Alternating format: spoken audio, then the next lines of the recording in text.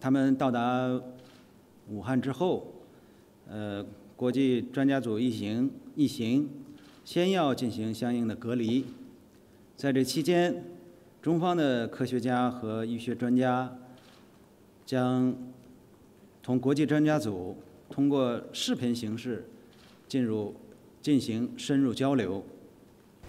Uh, and then after the two weeks, we will be able to move around and uh, meet our Chinese counterparts in persons and go to the different sites that we'll, uh, we'll want to visit.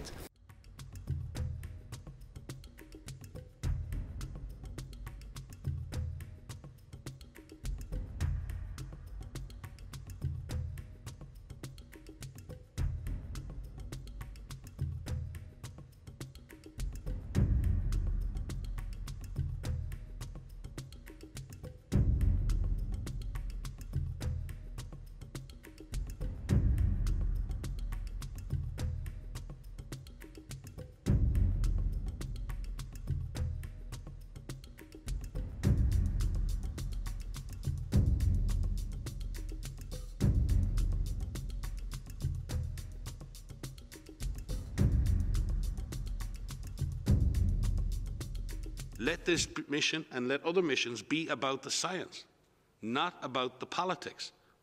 We are looking for the answers here that may save us in future, not culprits and not people to blame.